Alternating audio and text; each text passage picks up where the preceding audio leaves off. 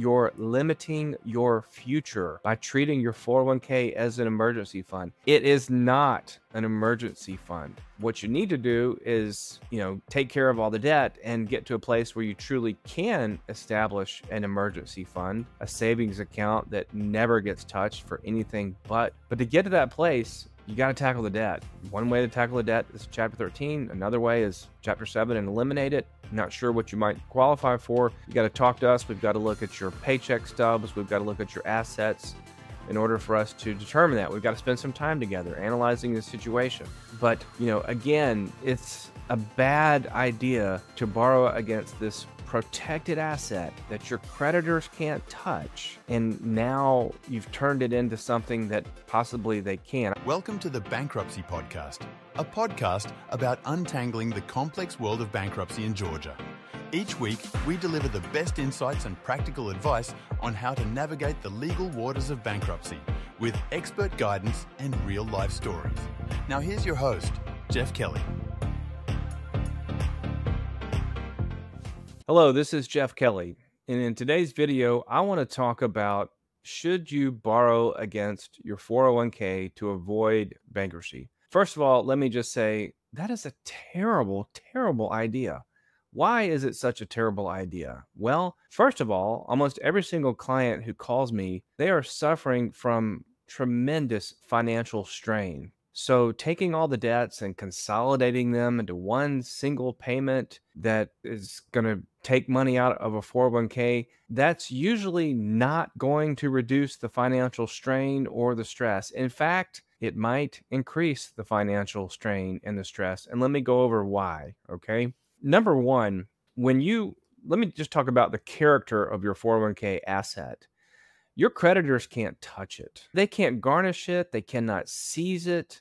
Why in the world would you want to take this protected asset and put it in danger to satisfy credit card debt, medical debt, debts that we could take care of and possibly eliminate and take strain off of you in a chapter 13 or a chapter 7? Why would you want to do that? So, another very important thing to consider is when you've got a 401k loan, what happens if you lose your job and you get to a place where you can no longer pay this 401k loan? What's going to happen? Well, what happens is you have to default on the loan. What does that mean? That means less money in your retirement. That means less growth in your retirement. It also means tax penalties. Okay. The federal government does not want you to take money out of your 401k. They want you to have a retirement and they have created incentives for you to keep your money inside of your 401k. When you take money out and you default, those tax penalties are not good. And not only are they not good, but they're not dischargeable in bankruptcy. So you just took debt that I could eliminate in a chapter 13 or chapter 7, and you have transformed it into debt that I cannot eliminate. So don't borrow against your 401k. It is a bad idea to rob Peter to pay Paul or to rob your retirement to pay Paul. It's not a good plan. It's not a good idea. Don't do it. You know, come talk to us. Let's explore all of your options. You know, another thing to consider when you borrow against your 401k, every dime that you're using to pay back that loan, that could be going toward your 401k contribution. And yes, you are allowed to contribute to a 401k when you're in an active Chapter 13 case. And this is going to reduce your future retirement, your future, your growth. Why would you want to do that without at least talking to us? But I'm shocked at how many people do take this action. Unfortunately, most people take this action before they talk to me. You should never, ever, ever view your 401k as an emergency fund. And that's another problem. There's, uh, you know, a lot of people, they just borrow here, borrow there, borrow here, borrow there. You're limiting the future growth of your retirement. You're limiting your future by treating your 401k as an emergency fund. It is not an emergency fund.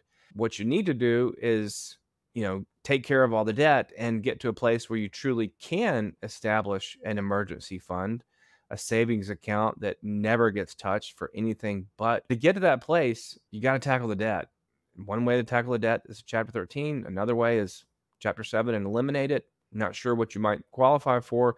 You got to talk to us. We've got to look at your paycheck stubs. We've got to look at your assets in order for us to determine that. We've got to spend some time together analyzing the situation. But, you know, again, it's a bad idea to borrow against this protected asset that your creditors can't touch. And now you've turned it into something that possibly they can. I, have seen people who borrow against their 401k and they'll put a whole bunch of money in their savings account and then come to me to file bankruptcy. What a terrible idea. You know, you're limited under the Georgia exemptions as to how much money you can keep in your savings account. You're not limited in your 401k. Leave the money in the 401k. Don't pay tax penalties. Don't limit the future growth. Don't increase your stress. The goal is less stress.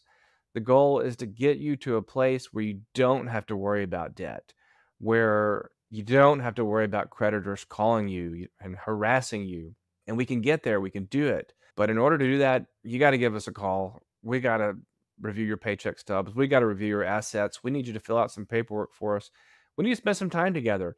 Yeah, it's not fun, but borrowing against the 401k not the answer. And if you're ever tempted to do this, to, you know, get a loan and get a family member to co-sign with you, I'm going to need to do a video and a blog post on that separately. Don't do that either. Don't take your debt problem and make it 10 times worse trying to avoid bankruptcy. If you need to file, give yourself some grace. Do it. You know, get this thing off of you so that you can move on to a bright and better future. Like what you hear so far. Make sure you never miss a show by clicking the subscribe button now. This podcast is made possible by listeners like you. Thank you for your support. If you're intrigued by the world of bankruptcy and want a comprehensive guide to help you get out of debt, head on over to kellycanhelp.com slash welcome and subscribe to our email list to have a guide to bankruptcy in Georgia, helping people get out of debt delivered right to your inbox. Now back to the show. If you're interested in learning more about Chapter 13 and Chapter 7, I've got a website, kellycanhelp.com, K E L L Y C A N H E L P.com. I've written a book on chapter 13 and chapter 7. You can download your free copy. I've also got lots of videos on my YouTube channel and on my podcast website, kellybankruptcy.com. You can download any of our old episodes there as well. I would strongly encourage you to educate yourself.